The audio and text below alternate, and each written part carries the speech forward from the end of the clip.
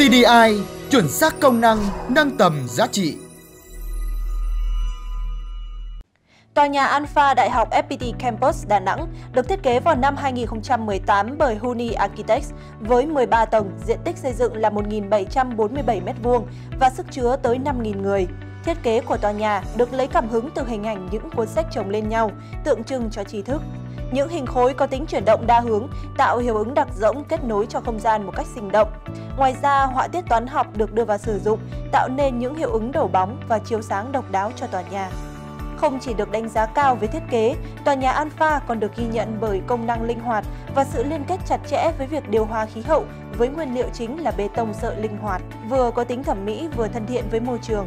Trung tâm của tòa nhà là một giếng trời lớn xuyên suốt từ mái xuống tầng trệt với các cây cầu dẫn được bố trí xoay chuyển vị theo xoắn ốc, tạo nên một không gian biến hóa đa chiều như một thuật toán, đảm bảo gió được xuyên suốt trong công trình. Ngoài ra, toàn bộ 5 tầng của tòa nhà được dùng để làm tầng cây xanh, vừa mang đến không gian thư giãn, giải trí và góp phần làm giảm bức xạ nhiệt. Tòa nhà Alpha là một điểm nhấn kiến trúc nổi bật và quan trọng trong khuôn viên Đại học FPT Đà Nẵng, đặc biệt với giải thưởng Design Award Winning Architects Project. Công trình còn là niềm tự hào mới trong bộ sưu tập những công trình kiến trúc tuyệt đẹp của Việt Nam.